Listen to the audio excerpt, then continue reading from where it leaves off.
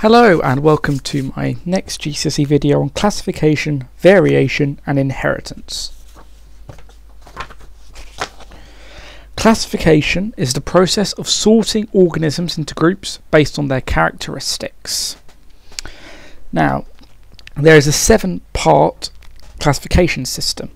That means that all animals are firstly split into a kingdom, then into a phylum, then a class, then an order, then a family, then a genus, then a species. There will be one species, but there could be a number of species in a genus, a number of genuses or genii in a family, a number of families in an order, and so forth. Now, kingdom, there are five kingdoms. And these are Animalia, Plantae, Fungi, Protoctista, and Prokaryote. Animalia, now there's some main characteristics of each kingdom. For Animalia, the organisms are multicellular, heterotrophic, which means that they do not produce their own food.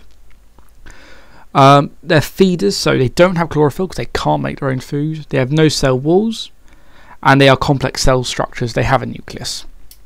Plantae, again multicellular, autotrophic. They can produce their own food, so they have chloroplasts with chlorophyll in. The cell walls are made of cellulose, and they have a nucleus. Fungi, again multicellular. Cell walls are not made of cellulose, they are made of chitin. They are saprophytic feeders with no chlorophyll. They are saprotrophic, which means that they can feed on like decaying matter and stuff. And they have a nucleus. Protoctista, usually uncellular. They can have unicellular, sorry, but they can be multicellular. They can have a nucleus. Or they will have a nucleus. But um, Protoctista are generally the outcasts of the other four.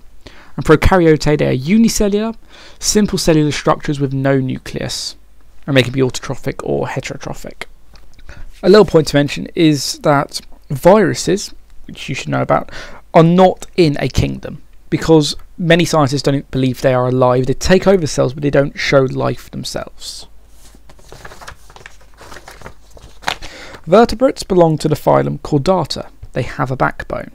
This backbone will be made out of vertebrae, called vertebrates. Animals that do not have a backbone are invertebrates. Now, out of the vertebrates, there are a five main groups.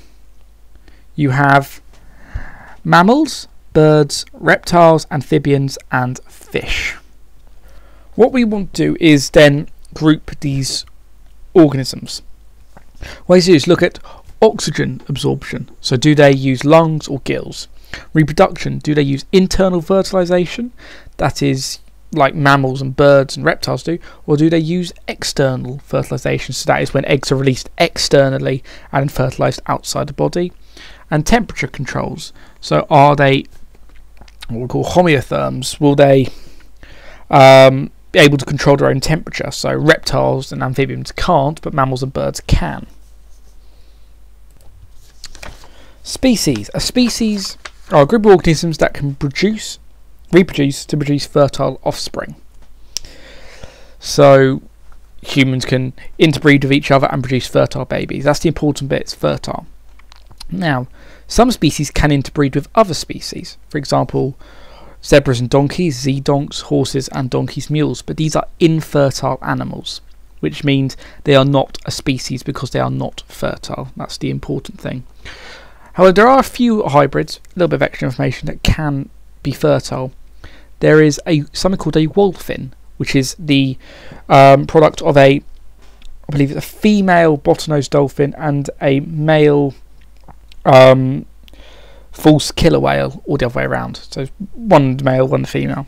And these wholphins have been seen to be fertile. Three of them have been. So they could be described as a known species.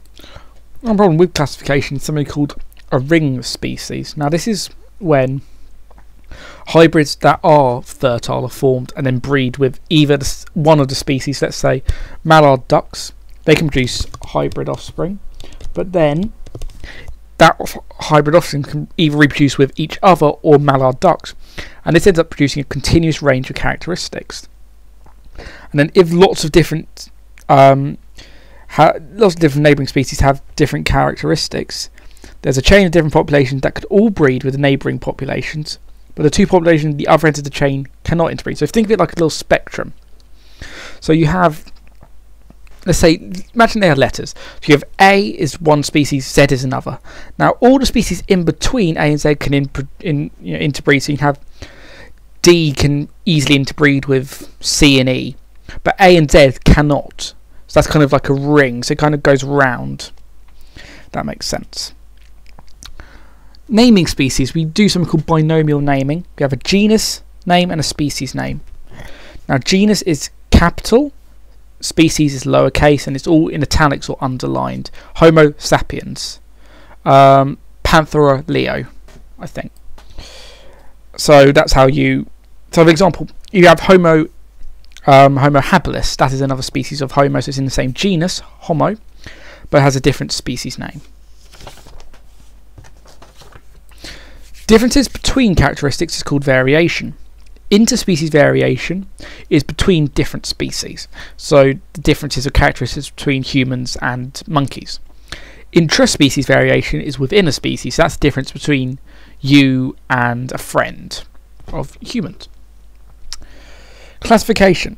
Now, what's the why we use classification is because it allows for easy identification of species, shows how organisms are related, so you can tell, for example, that you know humans and um, apes share 97% DNA or more, I think it might be, which shows we're very closely related, and that means we'll be in the very similar, perhaps the same family or even the same genus if it was even closely more closely related. And it also identifies areas high and low in biodiversity. Because biodiversity is a measure of the total number of different species in an area. Now, to count the species, you need to be able to identify them, which can be tricky. So, if you have a classification system, you can tell how many species there are. Now, also something we use to classify is something called a dichotomous key. This is just a set of questions. So, you'll have maybe six species, five questions. That's always what you want to have one more number of species than the questions, so seven questions, eight species. And so you just yes or no questions so you would say, you know, um, does it have four legs? Yes, go to this question. No, go to that question. And so you can use it to identify. Now, there are two types of variation your genetic variation and environmental variation. Genetic variation is what you get in your genes, it's characteristics you show from your genetic material. Environmental variation is something that occurs when you've changed to the environment. Now there's also you have discontinuous and continuous variation. Discontinuous variation is always genetic. Continuous variation can be either. Here's an example. The, the graph line shows eye colour. It's discontinuous variation. Brown, blue, green, hazel. You can't have in-betweens. Uh, some could argue you can, but genetically, no. You have one or the other. That's discontinuous. The curvy graph is human height, and that's continuous variation. Now, this can be caused by both genetic and environmental factors. So, if you eat a lot, you will grow more. It's a fact. But if you have naturally tall parents, you will probably be taller than if you have naturally small parents. So, it's kind of a bit of both genetic and environmental. So, genetic variation caused by your genes, that's from your parents. Environmental variation will be controlled by your habitat. So, for example, if you were to live, now this actually this this interesting. This is how color, skin color, came about. Skin color is now genetic, but it used it actually originated from environmental variation. If you live in the sunny parts of the world, particularly like Africa, you'll have darker skin because it will not absorb as much heat so you won't get as hot. If you're in colder parts of the world, lighter skin will help you absorb more. It's more important. So it helps you absorb more sunlight for heat and for vitamins. So it is that's how that started. So it's now genetic because if you are black, you have black parents, you'll have black children. If you have white parents, you'll have white children. Um, but it was derived from environmental variation because as people originated in Africa and moved north into Europe, they didn't need they needed more sunlight. They got there was less sunlight. They needed more of it to be absorbed, so their skin got paler to absorb it. So that's how that's that's evolution for you, which is what we're on to next. Evolution. Now you have natural selection. This was proposed by Darwin. Now this is survival of the fittest. Essentially, an organism displays a random characteristic, a mutation, and it will show that characteristic. If that characteristic gives it an advantage, let's say it's a giraffe and it's mutated a longer neck than the other giraffes, it can get higher, you know, leaves higher on trees. So it's going to be able to eat more. That's an advantage. It'll survive, it'll pass on that gene, while shorter neck giraffes will die. They are not as fit as longer neck giraffes. And so the babies are more likely to have longer necks, and the ones with the longer necks out of the babies will survive until you get evolution occurring to giraffes with longer necks. So organisms that can adapt to their environment survive. And what this happens when you have loads of changes and loads of evolution occurring a lot and a lot, eventually you will have a set of organisms that are different from the original set, so they've evolved a lot and then they can no longer interbreed. So you have, let's say, you originally had species A, but then half of the species adapted and became got a change, and then they got more changes as they adapted more and became became a, unable to interbreed with species A, but they could interbreed with each other. So they're called now species B, and that's how evolution works. This is called speciation, the creation of a new species. genes. Right now, you have a nucleus. In the nucleus, there is DNA, deoxyribonucleic acids, all the E's know And then each strand of DNA forms a structure called a chromosome. There are 46 chromosomes in humans, there are 23 pairs. Now, when you have a chromosome, there are it's in a little X shape. So you have two halves of a chromosome. So you think of it there, so you see the diagram.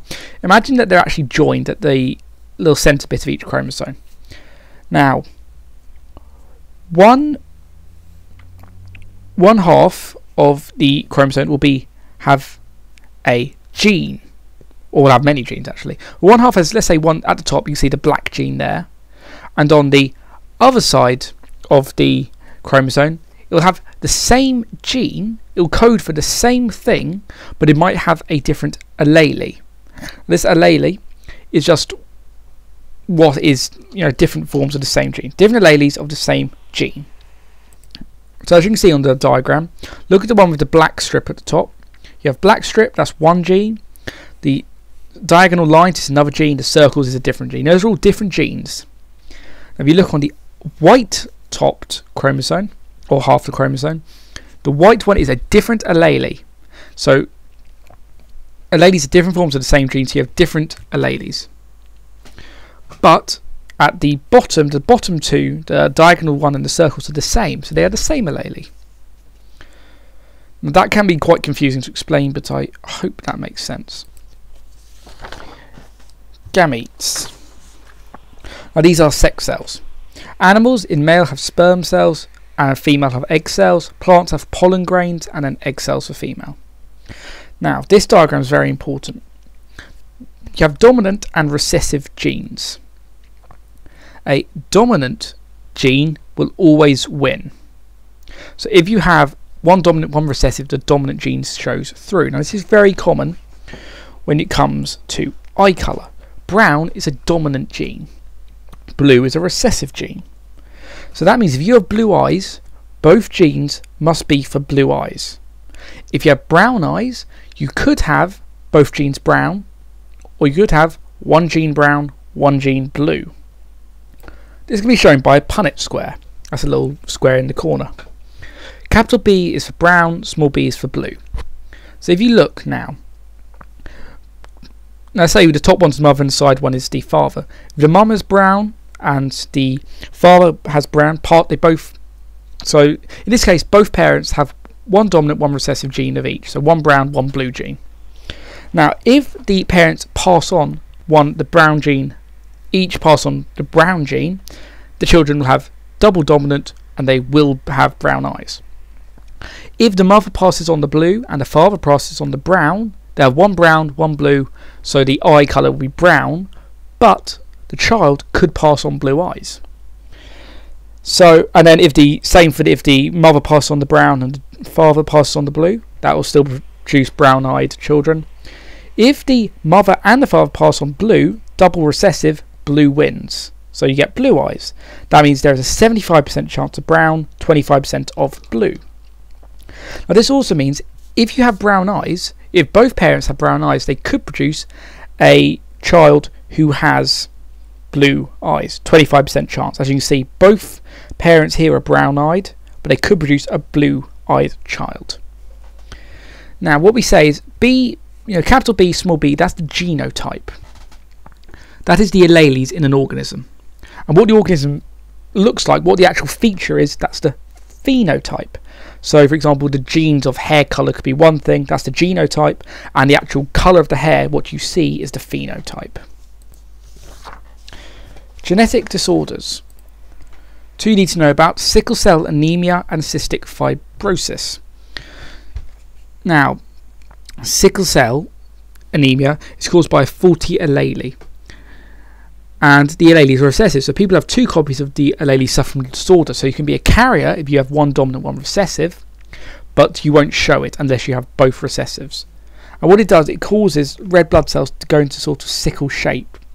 It means they can't carry as much oxygen, so they become tired, short of breath, and blood vessels get blocked as well because of the shape. And it can be very painful. Cystic fibrosis, again on the recessive allele. So you could have you could have an, a gene for cystic fibrosis but not show any symptoms yourself. What happens here is the lungs get clogged with thick mucus. Mucus also blocks of the tubes that carry enzymes to the small intestine to digest food, and this can result in weight loss and difficulty in breathing as well. So, Thank you for watching. As usual, any questions leave in the comments, especially about the chromosomes and alleles. That can be a very confusing thing. But um, like, comment, subscribe, whatever. Thank you for watching and goodbye.